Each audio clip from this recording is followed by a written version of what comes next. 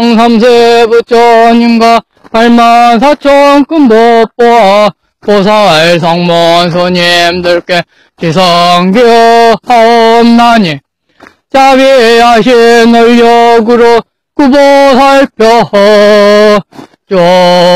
쫓소서. 저희들이 참된 성품 동지였고 무명 속에 뛰어들어 나고 죽는 물결 따라 빛과 소리 물이 들고 연설 국고 욕심내어 온갖 번뇌 쌓았으며 보고 듣고 맛봄으로 하양없는 죄를 지어 잘못된 길 갈팡질팡 선사고에 헤매면서 나와 남을 집착하고 그런 길만 찾아다녀.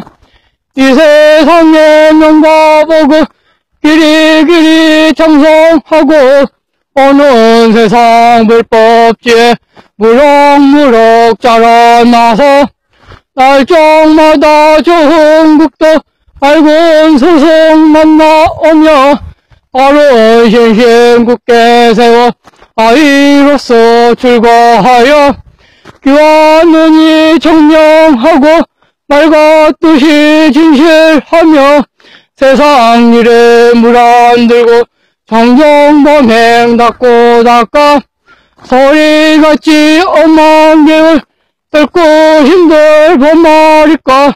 점잖은 고동으로 모든 생명 사랑하며 이내 목숨 버리어도 지성으로 보호하리.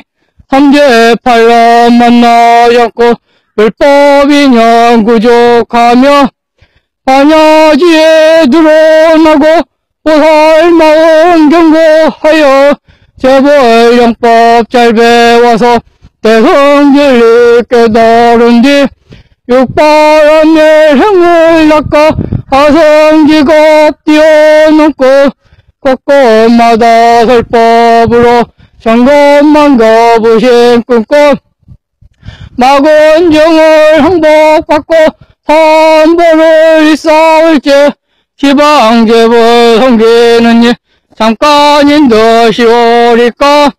온갖 법문 다 배워서 모두 통달하옵거든.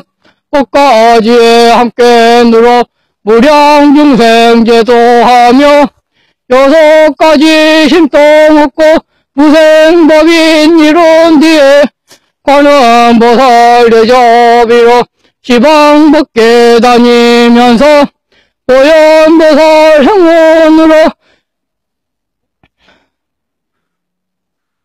허공 끝에 사운드 이는 살까?